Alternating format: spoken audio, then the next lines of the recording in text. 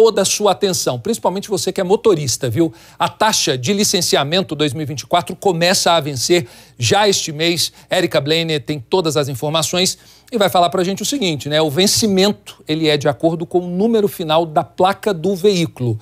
Com o algoritmo final, né, Érica? Na verdade, queria que você trouxesse para a gente todos os detalhes dessa informação, porque os motoristas estão atentos agora para saber quando que eles precisam pagar. Diga lá, boa noite.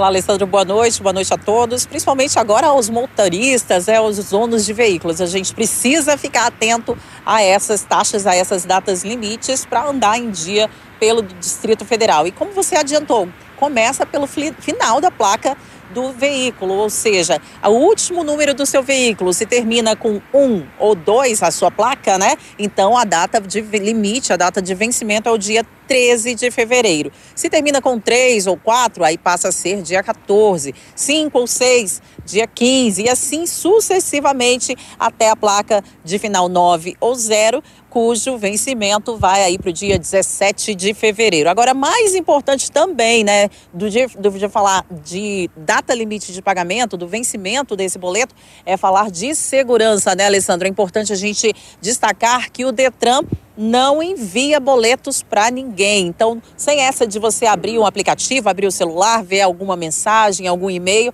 falando que essa é a sua taxa.